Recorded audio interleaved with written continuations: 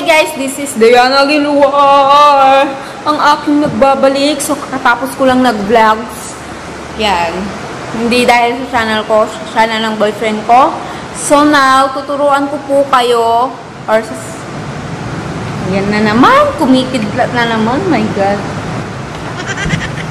Tuturuan ko po kayo guys kung ano yung tamang size the perfect size of the thumbnail sa YouTube channel. Kung nakikita nyo man guys, sa YouTube, sa mga sa mga baguhan pa lang to guys ah. Kung nakikita nyo man guys na yung kapag ka binuksan nyo yung YouTube, di ba may mga picture-picture bago nyo buksan. So, ang, ang tawag doon is thumbnail. Yung thumbnail na yon para sumakto doon sa YouTube nyo, channel nyo, sa YouTube nyo, para yung sa may square nyo, or sa, sa YouTube. YouTube, ang gulo. So, yun, may size po yan. Kapag hindi nyo siya ginawa ng size, so, hindi po yan.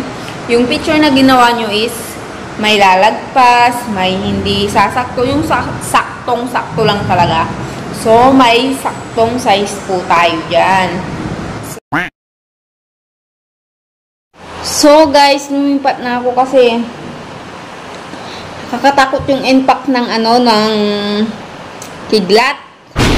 Tapos kumukulog pa. So lumipat na ako dito. So ngayon tuturuan ko po kayo kung ano po yung kung ano po yung the perfect and saktong size ng thumbnail nyo sa YouTube nyo.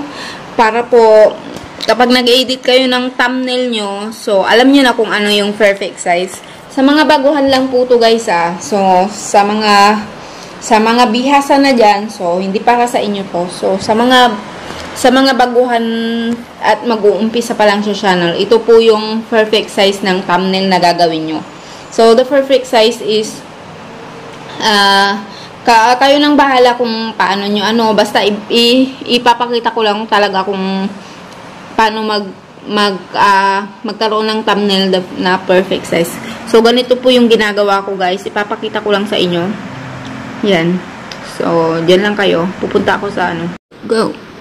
So, ngayon, para magkaroon kayo ng perfect size of the thumbnail, dito po kayo pupunta sa pitch art. Yan po ang ginagawa, uh, ginagamit ko para sa aking thumbnail. Diyan po, nandyan na po lahat. Ito po yung favorite kong app para sa aking thumbnail. So, download nyo lang yan. So, ito, pindutin nyo yung plus para pupunta po kayo dito. Yan. So, dito, dito yung, ano, ala. Dito po kayo pupunta. Yan. Yan. Papakita ko lang kung ano yung perfect size ng thumbnail. So, ito, pindutin nyo yung tools and pindutin nyo po yung crop.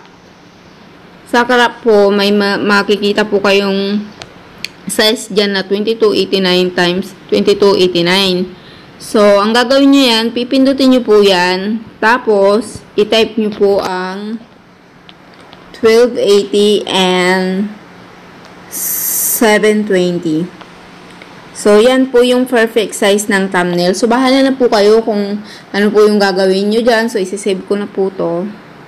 Hindi ko na ipapakita kung ano, ano po yung gagawin kong thumbnail. So, pinakita ko lang kung ano po yung size ng perfect thumbnail. So, yun.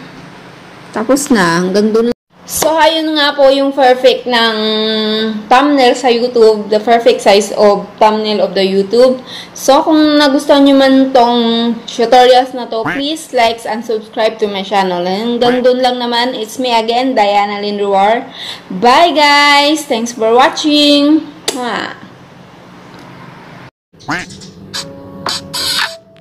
Quack.